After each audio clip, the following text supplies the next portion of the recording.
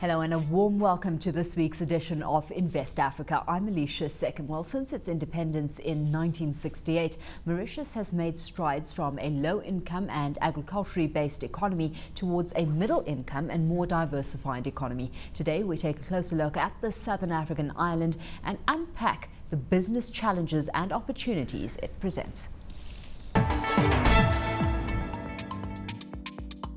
Located in the Indian Ocean and covering a total surface area of just over 2,000 square kilometers, the island of Mauritius is home to roughly 1.3 million people.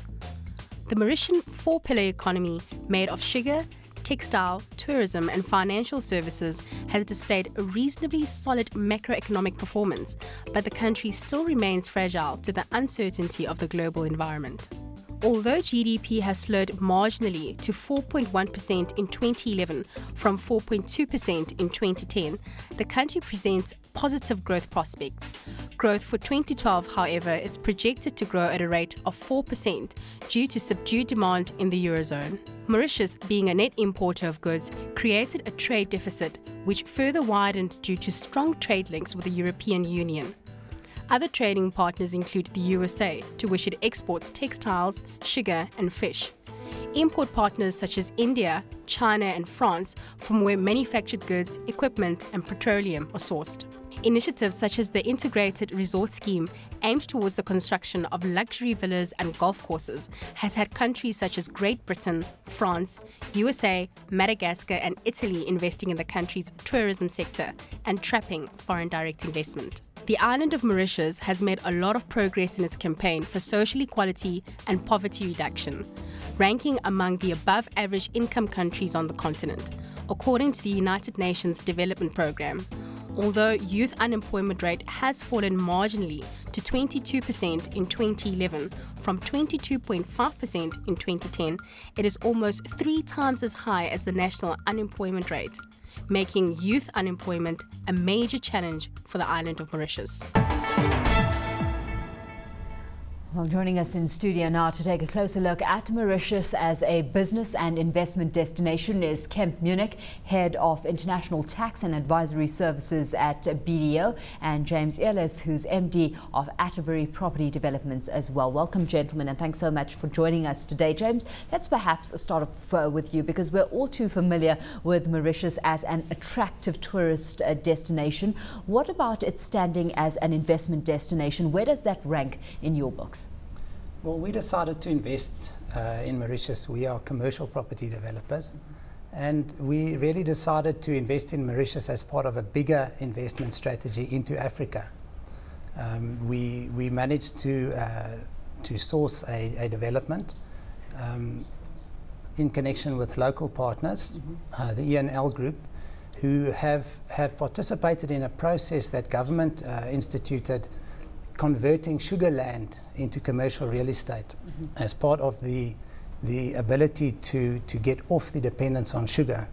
And as part of that initiative, uh, the ENL group, which is a big uh, in the sugar industry, uh, had, a, had a plot of land, 100 hectares of land, uh, seven kilometers outside of Port Louis, where they intended to do a commercial development. Mm -hmm. And uh, we managed to tie up that land together with them and develop the uh, develop the the precinct that we did. Yeah. So certainly some encouragement uh, coming through for property developers in Mauritius. Uh, you've got to ask the question though, Kemp, uh, you know, where some of the features that make Mauritius a paradise island, the country's remoteness, the size, for example, where those have acted as deterrents to investment in the past, just how much of a consideration those get paid right now for investors looking in? I think from an investor's point of view, um, it also it still remains issues that need to be considered: the remoteness and the smallness of the, uh, the country. But I think looking at what we experience in, uh, currently is a lot of international companies use Mauritius as a springboard. I think, as, as mm -hmm. James has mentioned, to get into Africa as well. And in a new budget. Um, document came out to Mauritius and, and, they actually wanted to make that uh, work more better um, there's a lot of incentives going in there to go into Africa, more double tax agreements to be signed.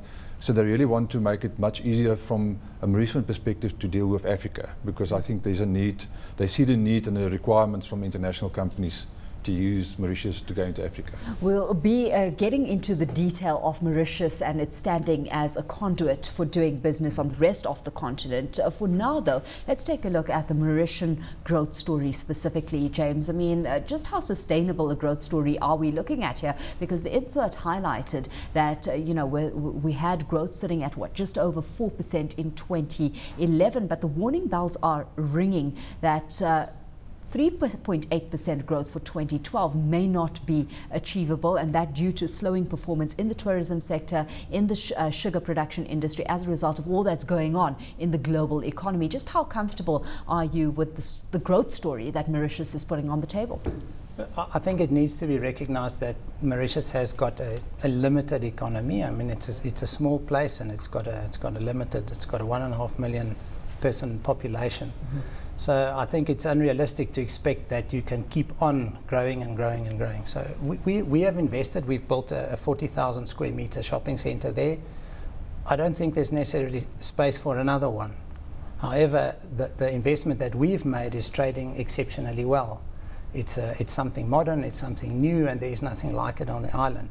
So from a commercial real estate point of view, uh, I think it's, it's about the timing it's uh, you know there's certain products that the, that the island needs, and once they are there, I think there's there's limited growth in those specific sectors going forward. Mm -hmm. However, we've got as another phase of this development, we're doing some some office space, as opposed to in South Africa where we might do 20, 10, 20, 30,000 square meters at a time. We're doing it in smaller chunks, 2,000, 3,000 square meters at a time. We still believe there's a place and a market for good quality uh, real estate, yeah. commercial real estate. But I think it needs to be seen in the context of the size of the island. With that having been said, Kemp, uh, you, we've got to uh, draw attention to some of the other sectors on the, uh, you know, on over in Mauritius that are drawing attention. What are some of the other investment hotspots that are certainly not as well known as that of the tourism and uh, sugar industries, for example? Um, I think to mention a few, the manufacturing, um, they're really trying to enhance incentives in manufacturing for, for companies to do manufacturing there. Also in the hospital medicine area, um, mm -hmm. there's a new bill out for, for, trials and clinics that they want to, to, get going. So I think that's also two of the industries we believe uh, and we see uh, when you're looking at the budget speeches and stuff that they want to encourage to come to uh, Mauritius to diversify a bit more. I think they also realize the limitations of the economy with the sugar and the tourism, and they need to expand into other areas of um, business as well to, to get to keep going. I think that's quite important for them, and they're trying to. I mean, we'll still have to see if they're able to do it uh, because of remoteness, etc., and the skills shortages maybe there in certain um, industries. Uh, but I think um, they're definitely trying to do uh, diversify more um, to get the economy going.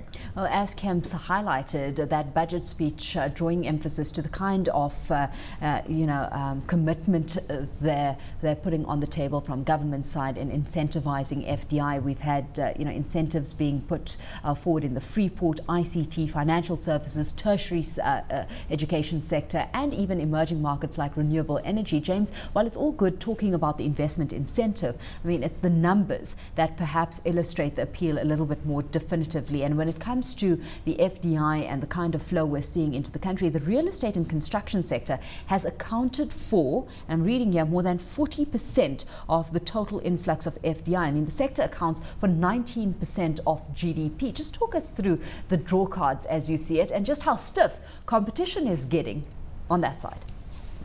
Look, I think that, that construction sector number also includes the, the RS and the RES uh, residential schemes, which have been uh, an incentive from government and I think have been uh, quite successful. Mm -hmm. You can invest in, uh, in residential real estate there, and there are a lot of benefits that, that you get by becoming an investor there. So I think that has, has uh, stimulated the construction industry to a large extent. The hotels keep growing. Um, I don't know exactly how many there are, but there are many. And if you drive around the island, you'll see the commercial uh, property development is happening uh, all over the island. We happen to be located in the center, seven k's from Port Louis, so that is where most of the people are. But certainly all over the island there is construction activity taking place. With that activity taking place, one can only assume that the competition is stiff, and that would be relevant for construction players, for developers, because it has implications for margins. The, it, the, the, competition is stiff, but there are also only a limited number of, uh, of players in the industry, as, as is in any industry on, in Mauritius. Mm -hmm. So there is competition but I think it's fairly well balanced. Kemp, let's take a closer look at the package of incentives that's provided to investors. Uh, certainly in the hotel, leisure and real estate sectors, we've got low corporate tax rate of 15%, exemption from customs and excise duties on imports of equipment and raw materials, free repatriation of profits, dividends and capitals, reduced tariffs for electricity and water as well. What do you make of mechanisms like these being used as incentive drawcards and their effectiveness? I, I believe in, in, the case of Mauritius, I've, it, was, it is quite effective um, um, because, as I said, that's a springboard into Africa. Yeah. And where they're going with double tax agreements and the incentives they put in place to draw more business into Mauritius, um, the, the, companies do look at that, and quite, it plays quite an important role. Um, they might be losing out on quite a bit of money, but I think for them, the way I see it is they're more interested in getting more business there and with the volumes they're going to create, hopefully with this, they'll, they'll cover the potential losses on taxes they might mm might lose because of the incentives. For now, at yeah, least. Uh, what now. happens down the line? And, uh, you know, what are the dangers to incentives like that? You know, because what if down the line, out of necessity, these terms need to be changed and those long-term contracts or agreements actually need to be amended? I mean, certainly here in South Africa, we've learned how well-intended agreements struck in the past can actually become a risk when rules change and uh, it becomes difficult for business to actually navigate around it. Yeah, the, the problem is that it might not be sustainable. Um, I've been there those incentives for quite a while now, but if I don't get the volumes, it might not be sustainable, and then I have to change it or up the percentages, and that might then actually work against what they're trying to achieve. Um, so it's a, it's a risky, it's always a risk having these type of incentives. On the one hand, you try to encourage business to come, but on the other hand, the government might lose quite a bit of money, and if they don't get the volumes they were hoping for, um, they might they might lose out uh, big time and it might hurt the economy. Yeah, uh, James, I guess for any incent, uh, for any investor, it's really hard to ignore the fact that governments worked at making sure that. doing business in the country is easy, efficient, it complies with best practice. Your experience of the ease of doing business from a regulatory perspective in the country? Well, certainly our our investment uh, program into Africa started in Mauritius. And, and one of the main reasons for that was quite simply the ease of doing business in. Mauritius.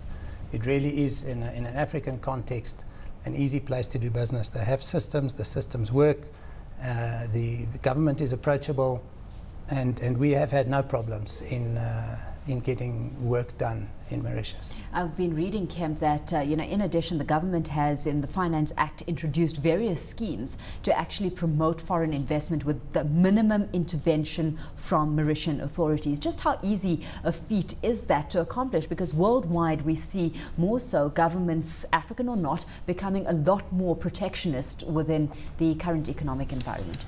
Um, I, I, think I believe they will be able to achieve it and not getting too much involved. It, uh, as James has mentioned, the ease of business, doing business in Mauritius is, is, is, quite good because if you look at the latest rankings from the World Bank, um, out of 185 economies, they're number 19, I think, mm -hmm. if I'm not mistaken. That's so, exactly it. Uh, so it's quite easy to do business there, and I think that was a success of the Mauritian government, not getting too much involved, too much red tape. Um, although you have to have a look at from a South African perspective that there's challenges when you come to the from a tax point of view, from effective management point of view, to make it much more difficult to to actually set up a proper business here, um, and therefore you need to take those risks into account. But we're also experienced to setting up companies and doing all those. Um, legal requirements and get the business going, it is actually quite easy to do it. Well, let's leave the conversation there for now. At least we're heading into a quick commercial break, but there's more on Invest Africa right after this.